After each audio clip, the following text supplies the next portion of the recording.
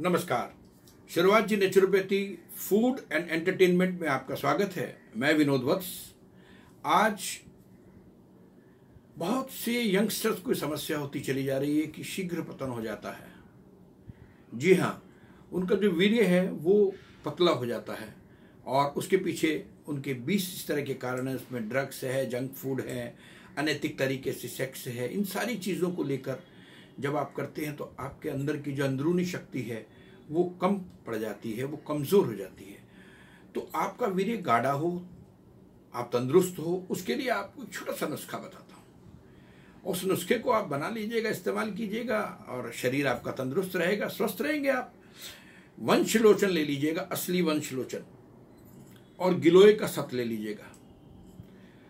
वंशलोचन असली और गिलोय का सत ये बराबर मात्रा में लेके इसे कूट लें आप।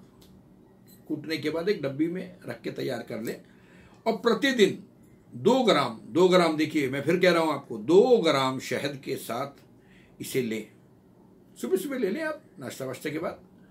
दो ग्राम शहद के साथ आप इसे लेते हैं तो आपका वीर्य गाढ़ा होना शुरू हो जाएगा। आप इस इस, मैं कहता हूँ, इस नुस्खे का उपयोग करते हैं।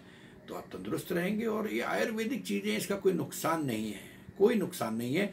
और फिर भी, देखिए, इंसान है ना, हर इंसान की बॉडी अलग अलग है, लेकिन अगर किसी को लगता है कि उसको सूट नहीं कर रहा तो उसको तुरंत बंद कर दे भाई।